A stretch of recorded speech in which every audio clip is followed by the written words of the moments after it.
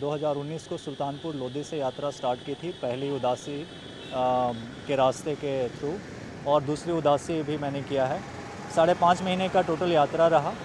उद्देश्य यही था कि नानक जी जिस रास्ते पे अपने टाइम पे चले थे, उस रास्ते को पैदल मैं चल के कवर करूँ और जितना कुछ सीख सकूँ, जितना कुछ बटोर सकूँ, वो एक उद्देश्य था और दूसरा उद्देश्य था भूखमरी को मिटाने का।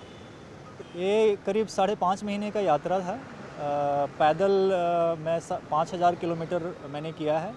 ऑलमोस्ट इंडिया के सारे जगह मैंने घूमा है सारे राज्यों में घूमा है।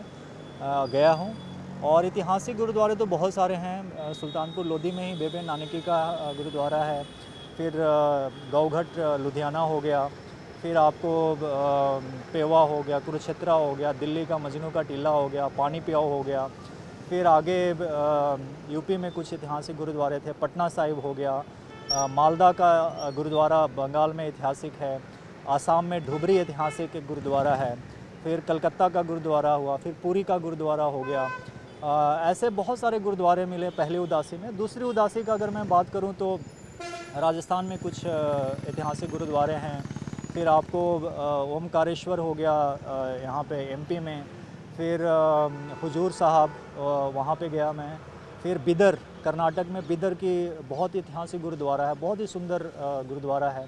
आगे और नीचे जाके रामेश्वरम पूरा साउथ इंडिया में एक बहुत ही ऐतिहासिक गुरुद्वारा बन बन रखा है।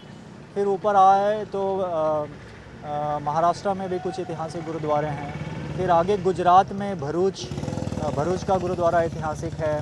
फिर आपको यहाँ पे लखपत का गुरुद्वारा बहुत ऐतिहासिक है। बहुत मुझे लगता है कि उद्देश्य अब मेरा उद्देश्य और इसके कारण और बढ़ गया है। मुझे और जानकारी लेनी है और शिक्षा लेनी है और और कुछ समझना है। तो एक तरह से तो मैं समझता हूँ कि पहली उदासी का जो भी था उससे मैंने काफ़ी कुछ सीखा। अब इस चीज़ को मुझे आगे काम करना है और ज़्यादा कुछ सीखना है और समझना है।